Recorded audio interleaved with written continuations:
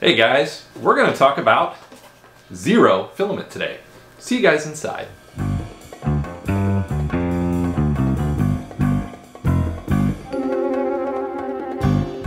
Hey guys, welcome to today's video. Today we are talking about a filament maker that sent me a roll of filament to try. This is by the brand Ziro, the 3D printing filament. This is their PLA and this is their Starry Night or Starry Sky, I apologize. So this is a PLA 1.75 millimeter, and I had some fun with this. So I'm one of I don't do a lot of stuff with multicolor filament. I probably should do more, but I don't. And this filament also had something I despise. A lot of you may not know this about me, but I don't like glitter. This has glitter in it. But all in all, this brand, I was hesitant. I've had filament sent to me before and it just messed up the machine. So this is their gradient tweakling and just in case you're curious, I will have a link out there for you guys for Ziro filament. And I was hesitant to use it, to be honest. Color change, standard PLA. But Guys, first, subscribe.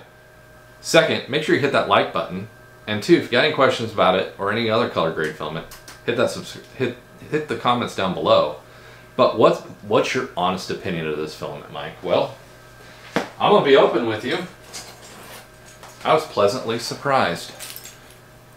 Beautiful colors, beautiful gradient changes, and honestly, I was able to slot it in and print with not really much changes. The only thing I really did have to change, I had to my, up my retraction a little bit, but I was putting this PLA directly into a direct drive.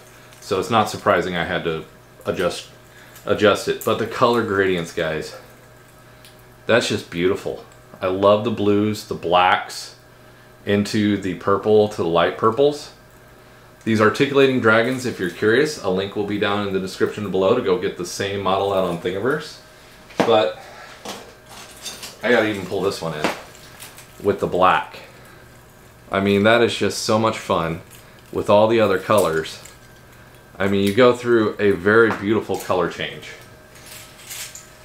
Um, even with the purple to the blue, like this one, and I'll get some closer shots for you guys here of these it's just a fun, this was a very fun filament. Um, and I'll show you guys this one. I did this Dragon Cup that's available out on Thingiverse um, just because I needed a new pin holder. But look at that.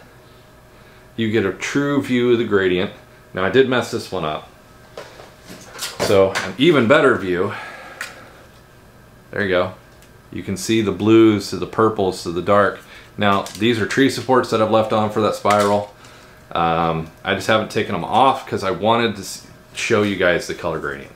That color gradient is just so awesome. And the glitter is in there, it shows through.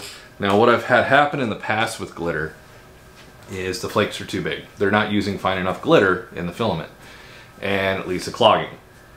I didn't have a single clog with these. So Really an impressive filament, really enjoyed it. I didn't have to do much temperature change. I ran it at about 210, which may have been part of the stringing problem too. I probably needed to knock it down to 205 in my Odin, but I was really impressed with this filament. I really enjoyed working with it. Um, to say that I didn't have any problem with it is really odd because um, I get some of these filaments and they just don't work this stuff worked. I had a lot of fun with it. It's PLA, the strength is fine. Everything was fine with it.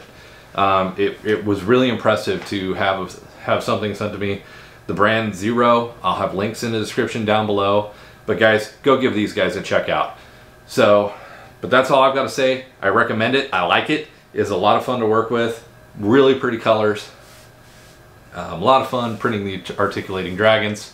Uh, my daughter was ecstatic to have one. Because I mean, usually when I print, I usually print monotone. I usually print gray, and I printed this one specifically for the purpose of this video to show you guys. I usually print gray. Um, so to have the color gradient, have the strength of the articulating dragon to be able to print them, as I do with my PLA, because this is my PLA Plus that I like to use. This was just a lot of fun. So I'm gonna get, I'm gonna give you some closer shots of these here post at the end of the video here and uh, let you guys take a look at it and judge for yourself. So it's one of those things, hearing someone say, oh, the filament's fantastic and all that, you gotta get it and judge for yourself. Um, but I, I was really impressed. And if you run into a problem with it, please don't hesitate to reach out. Hit me in the comments down below. My email address is right out there. I try to help you guys out as much as I can, where I can. So, um, but a really good filament. Really enjoyed working with it. Hope you guys enjoyed the video. We'll catch up with you guys next week. See you guys later.